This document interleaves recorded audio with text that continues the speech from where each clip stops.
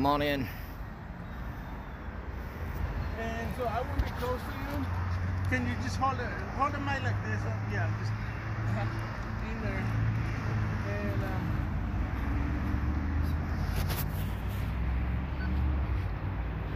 and just look my way right here. And um, just for the record, may I please have your name? Detective Daniel Day. And uh, Deputy Day, can you please uh, tell us um, what's going on here today? So today we uh, apprehended the hit and run suspect um, that in the traffic collision on 10th Street West and Avenue O-8. He is now in custody. Um, and we'll be pressing charges of hit and run felony as well as uh, gross vehicular manslaughter. Uh, did he give out a statement to you? Did, did he say anything as to why it took him this long to turn himself in? No, sir, he did not release a statement. He has uh, retained a lawyer, therefore he re- refused to give any statements about the collision. Okay, and um, how did he, uh, did he come about turning himself in? Uh, we put out the bulletin for his arrest, and I guess he got word of it and got a lawyer and walked himself into the station today. We we uh, choreographed that yesterday. We you know, spoke with his lawyer and, and set up a time for him to turn himself in today. Okay, um, there anything else you'd like to add? Something that I, I just want to say thank you to the public, and I'm sure that the family's very grateful. Um, we had a, a ton of hits and a ton of people calling in, giving information, so we are very grateful because these were good kids and they didn't deserve this. So I don't. Are they allowed to? yeah, yeah, yeah, go ahead. Is it, Anybody? We just want to thank everybody for your blessings, your prayers, your prayers mainly, your support. Your help. Yes, your help. We needed to get this guy out of the street. He did it more than once on the same night. Unfortunately, our, our boys had to pay for it. But just to see the support that they've received, they left their spark Every, everywhere they went and everyone they touched. Forget about them. We need to get these guys off the street. They need to pay for this stuff. It has killed our family. We were already a close family. This just bonded us even closer. We will not stop till we get justice for them. Thank you all for your love and support.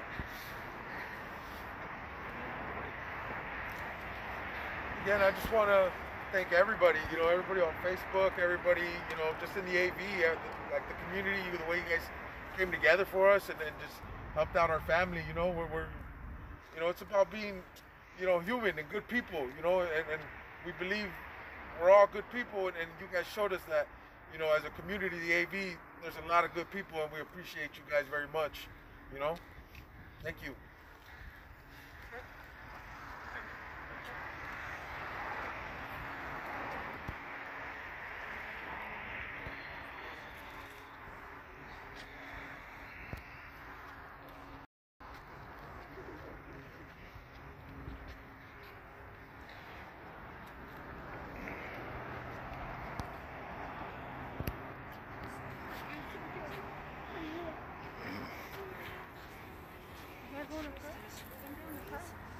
For everybody that's coming on right now, this is in regards to the two boys that were killed tragically in the double fatality on January 30th at approximately 10:22 p.m. The suspect has turned himself in. He is in custody. Thank you. Thank Yes, yeah, go ahead.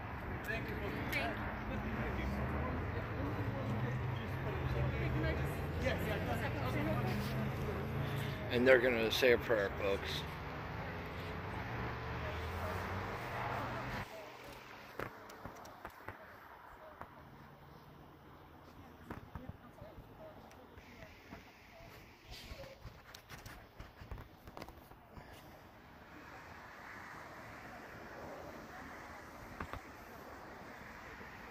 We are here at the Palmdale Sheriff's Department on Sierra Highway and Avenue Q.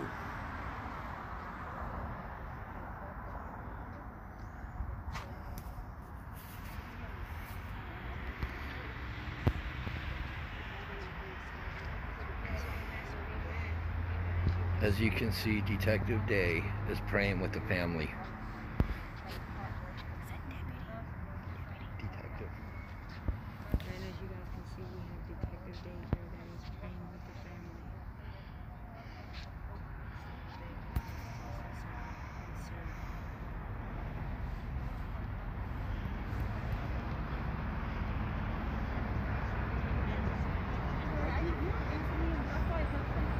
And everybody, thank you. May God bless this family. Guide them through these times. And the suspect is in custody.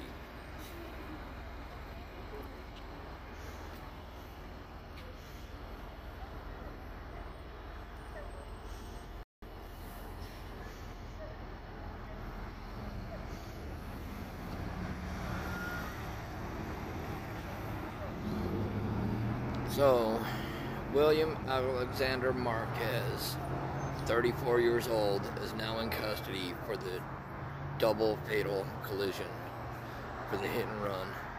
He's in on multiple charges.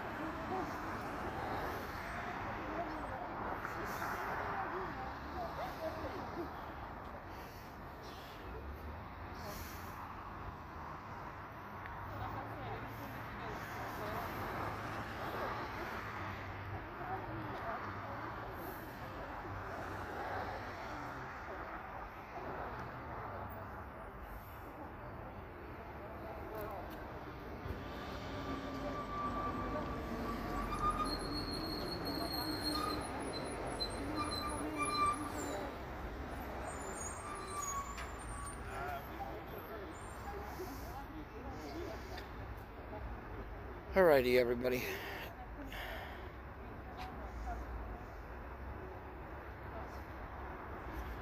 So, I'm gonna give the family their time. Everybody, God bless you. Have a blessed day. God bless the deputies, sheriff's department, the family. We will be talking to you all soon. God bless you all.